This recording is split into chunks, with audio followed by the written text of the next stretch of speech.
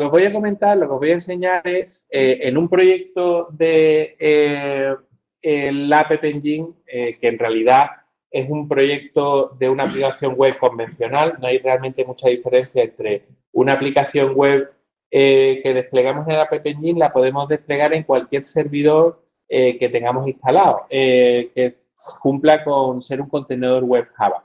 Por ejemplo, eh, servidor, no sé si habéis oído hablar alguna vez del servidor eh, Tomcat o, eh, bueno, Yeti es el que usa en el App Engine.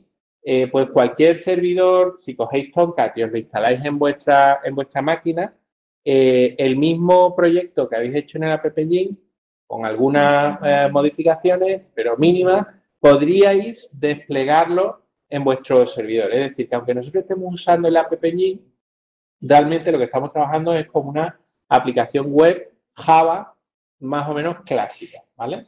Entonces, en una aplicación web Java, eh, nosotros podemos tener archivos, como en todas las aplicaciones web, HTML, CSS, el, el archivo que estuvimos modificando el otro día era el archivo index.html, pero también podemos tener, eh, tenemos la necesidad normalmente en una aplicación web de generar contenido dinámico. En, el HTML siempre es el mismo. Yo lo escribo, lo despliego y no cambia nunca.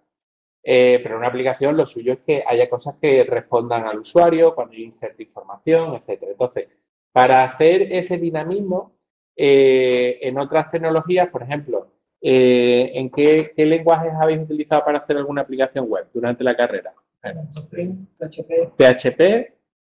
Eh, ¿Qué otro lenguaje?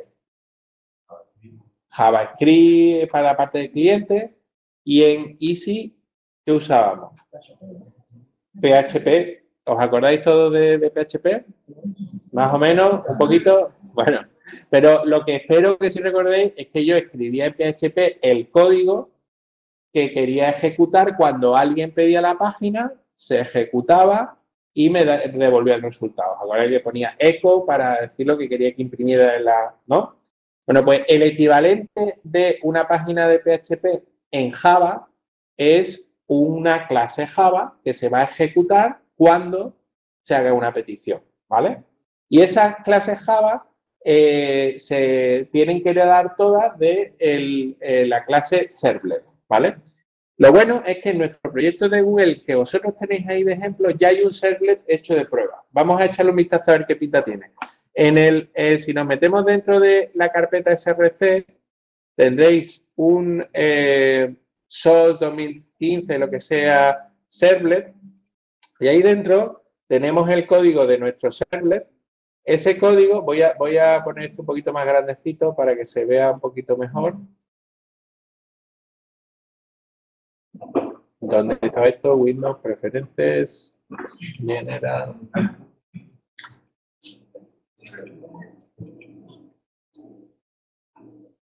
Text font, edit y 20. Bueno, 18. Vale. Eh, ¿Se ve? ¿Se ve desde fuera? Vale, pues esto, eh, esto es una clase Java que lo único que tiene es un método bueno, tiene que heredar, eh, eh, tiene un nombre, en mi caso se llama prueba server, en vuestro caso se llama normalmente SOS 2015 no sé cuánto, y tiene que heredar de la clase HTTP servlet. Entonces, eh, este servlet tiene un único método que se llama doGet y es el método que se llama cuando se invoca a una URL que ahora os diré, ¿vale? Y entonces, con, usando el objeto REST, de response, eh, podemos manipular lo que le vamos a devolver al usuario, al usuario que ha pedido la página, ¿vale? Entonces, eh, básicamente hay dos, hay dos instrucciones fundamentales. Una es en la que le digo qué, qué tipo de información le voy a devolver. En este caso le voy a devolver texto, texto plano. Y después, eh, con un writer, puedo ir escribiendo cosas en esa respuesta que le voy a mandar, ¿no? Entonces, por ejemplo, voy a cambiar esto, vamos a cambiarlo y le voy a poner text HTML. Eh, qué bien, ¿no?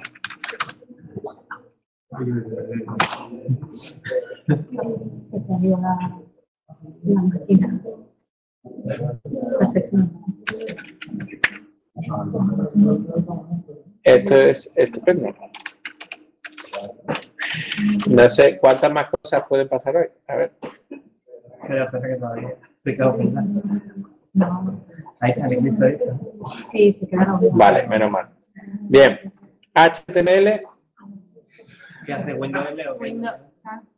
Windows L es. Eso es Windows L, normalmente estará configurado. Bien, bien. Eh, eh, está muy bien, está bien. A ver, o sea, si yo hago L, efectivamente, él está cogiendo Windows. Eh,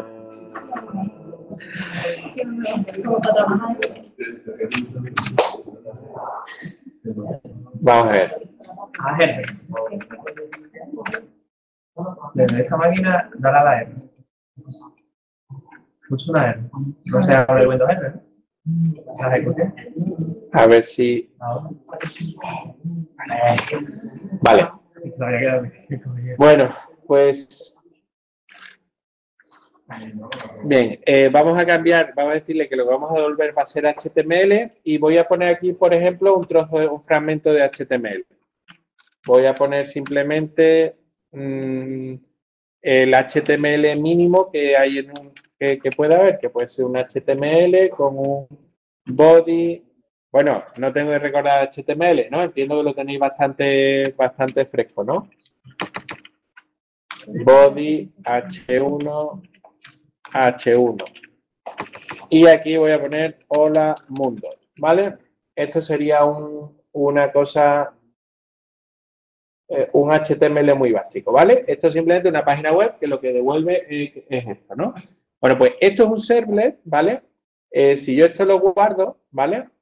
Este servlet ya está, eh, está listo para poder configurarlo dentro del proyecto, dentro del servidor. ¿Qué pasa? Yo he dicho, yo en PHP, ¿vale? PHP, cuando nosotros poníamos una página PHP, lo que se llamaba, por ejemplo, pepito.php, ahora desde el navegador yo ponía servidor, lo que sea, o localhost barra pepito.php y se ejecutaba. Aquí, ¿creéis que podré poner localhost barra pruebaservlet.java? Pues eso sería lo ideal o lo ideal para vosotros, pero no, no se puede hacer así. ¿Por qué? Porque en PHP el código es el que se ejecuta directamente, es un, es un lenguaje de scripting. Pero en Java no, en Java ¿qué tenemos que hacer? En Java tengo que compilar a una clase y ahora una vez que está la clase, que es un punto class ejecutada, entonces se invoca, ¿no?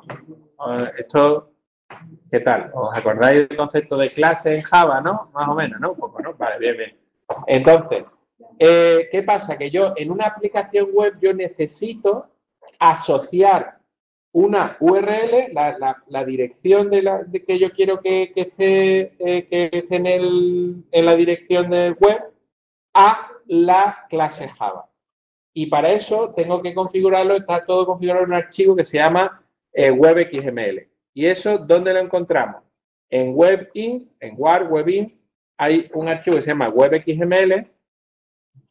Y en ese archivo WebXML, si lo abrimos, bueno, eh, si le dais doble clic os saldrá la vista eh, que es un poco visual del contenido, pero a mí me gusta ir al código, a Source, que es un código XML, y aquí es donde está configurado de una manera el servlet, de forma que yo aquí tengo el nombre de la clase, el nombre de la clase, y por otro lado tengo el, en el mapping, tengo la dirección en la que va a estar asociado. O sea, básicamente estas dos instrucciones lo que me están diciendo es, tengo un servlet que está en esta clase y que yo voy a llamar prueba, y en esta instrucción lo que tengo es el servlet prueba que acabo de, de configurar va a estar asociado a la URL barra prueba. Entonces, de esa manera, lo que va a hacer el servidor es que cuando alguien me pida bla, bla, bla, bla, bla, bla, barra prueba, lo que voy a hacer es ejecutar el servlet tal. ¿Vale? Veo ahí como un shock. en estado de shock, ¿no? ¿Cuál es el shock? Hacerlo, bueno, esto está hecho ya, no tenéis que hacer nada. Lo importante es entenderlo. Lo que quiero que entendáis es que cuando yo en PHP ponía simplemente el nombre del archivo y ya con eso ya el, servidor sabía ejecutar el archivo, aquí no puedo. Aquí tengo que decir a qué parte de la dirección va a estar asociado el servlet. Es decir, que cuando yo ponga en el, servidor, cuando yo lo arranque, voy a tener que invocar el servlet. Vamos a, voy a hacerlo completo y lo vais a, yo creo que lo vais a entender bien. Yo aquí lo que he asociado es barra prueba al servlet este que se llama prueba servlet, ¿vale? Entonces, voy a arrancar el servidor, voy a arrancar el proyecto para que veáis qué, pasa, qué pasa con, con esta configuración. Bueno, lo bueno que tenemos es que eh, eh, no nos hace falta desplegar una API, no nos hace falta nada. Podemos probarlo en local. ¿Cómo podemos probarlo en local? Pues dándole a run, aquí a run webxml. No, perdón, el webxml no. Perdón, perdón. Esto, bueno, me va a dar un fallo, tal. Esto. A ver.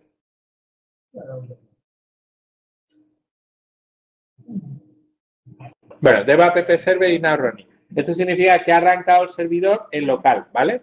Y lo ha arrancado en eh, http localhost 888. Entonces, si nosotros nos vamos a un navegador y vamos a localhost 888, aquí está la aplicación que, está por defecto, ¿vale? Entonces, como yo he puesto aquí el servlet, como yo el servlet lo he asociado a la dirección barra prueba, si yo aquí conectar el localhost 888 barra prueba, ¿qué va a hacer? Va a arrancar el, la clase Java, ejecutar el método de y me va a mostrar el resultado. Esto es lo que ha hecho el servlet. Ha invocado este servlet que yo he hecho, ha compilado, ha ejecutado el Duet y muestra el resultado de la ejecución de ese servlet. Venga, pues intentar hacer esto, a ver si sois capaces de, poder invocarlo. Y lo que me gustaría es que, eh, a ver si sois capaces de crear un servlet que lo que hiciera es saludarte. Es decir, que, yo cuando ponga en el navegador, cuando yo ponga en el navegador eh, eh, barra saluda, diga hola y vuestro nombre, ¿vale? A ver si sois capaces de hacer eso.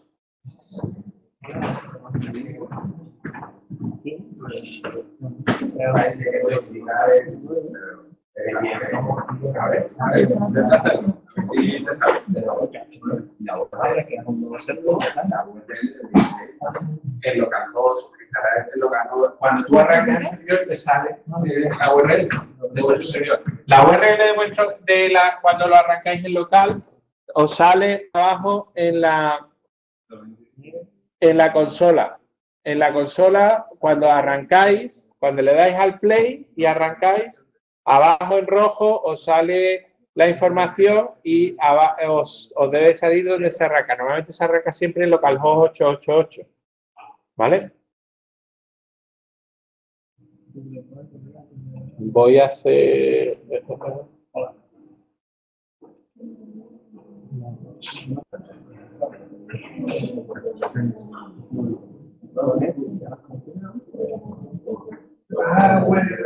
Una pausa.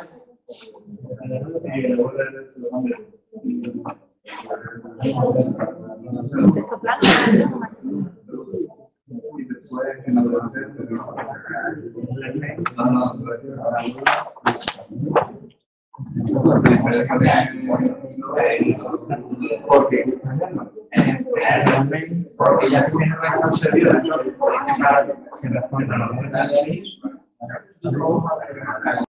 bueno, para poder conseguir lo de eh, hacer eso, eh, podemos crearnos un nuevo servlet eh, que sería tan sencillo como crearnos un nuevo servlet, copiar el código y demás, pero yo, por, por razones de tiempo, lo que voy a hacer es simplemente este mismo servlet lo voy a usar, ¿vale?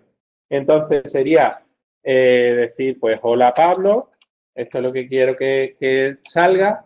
Y ahora, para que eso esté asociado a la ruta eh, saluda, lo único que hace es modificar el web XML y en vez de poner aquí prueba, pues podría saluda, ¿no? De esta manera, el servlet se ejecutaría asociado a esa URL. Si yo ahora esto, eh, una vez que lo he guardado, para poder arrancarlo tengo que primero parar el servidor dándole aquí al cuadradito y darle otra vez a, ejecutar el, sistema y una vez que se, arranca, el, se despliega otra vez el proyecto, pues ya si hiciera barra saluda, ya sí que sale el, el hola ¿vale?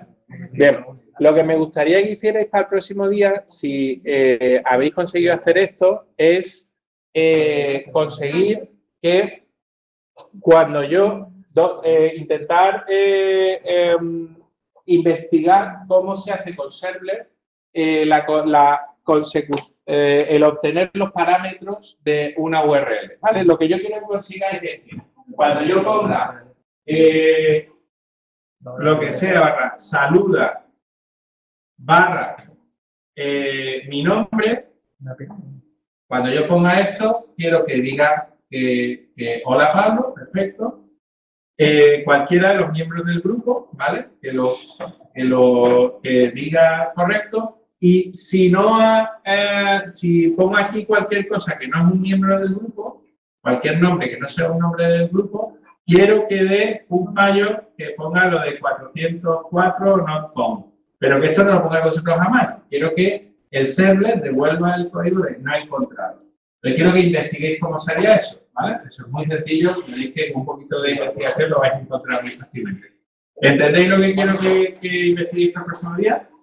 Simplemente, y esto no me lo pongáis a mano, ¿vale? No me pongáis tres servers distintos. Todo esto con el mismo server, con un único server que detecte cuando eh, es un miembro del grupo, ponga hola Pablo o hola lo que sea, y si no es un miembro del grupo, que diga no he encontrado. ¿Vale? A ver, a ver quién es capaz de conseguirlo. Y ni que decir tiene que tenéis que tener ya lo del Supercell o el, el sistema eh, ya funcionando. Voy a, voy a resolver algunas dudillas de algunos de los compañeros. Sí, el vídeo lo subo ahora mismo en cuanto, en cuanto termine. Paramos. ¿Lo voy a subir? Ah, bueno, lo subo a consigna, mira. Subo el vídeo a consigna para